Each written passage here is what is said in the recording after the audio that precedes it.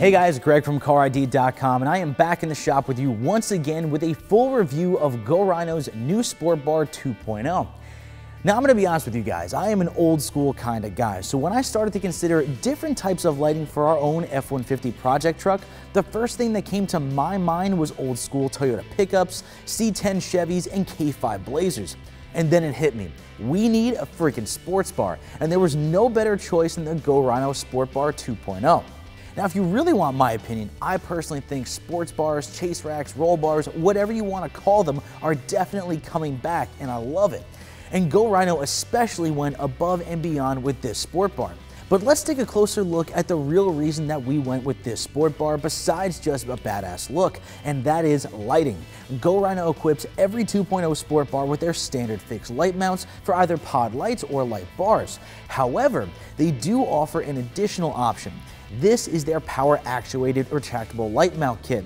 This kit allows you to mount your lights to a power actuated plate, so with just a flick of a switch, you can hide your lights away when not in use. Now realistically, do you really need to hide your lights? Well, maybe if they give you a nasty whistling noise on the highway or if you end up in a low ceiling parking garage.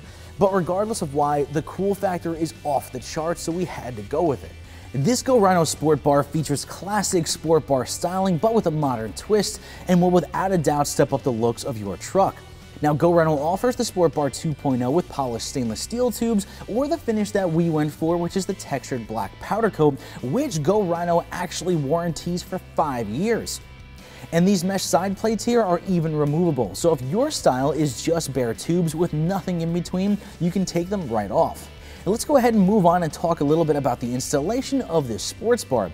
Now first, if you already have a tonneau cover on your truck like we do, Go Rhino was thinking of you. They designed this sports bar to work in conjunction with most tonneau covers on the market.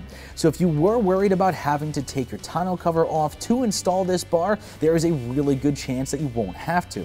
Now when it comes to the physical installation of this sports bar, it's really not bad and it can be done in an afternoon in your own garage.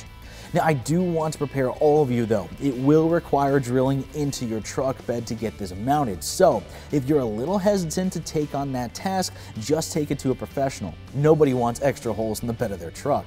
Start with assembling the entire sports bar off the truck. This includes bolting the tubes to the light bar mount, bolting the base mount to the tubes, installing the side covers.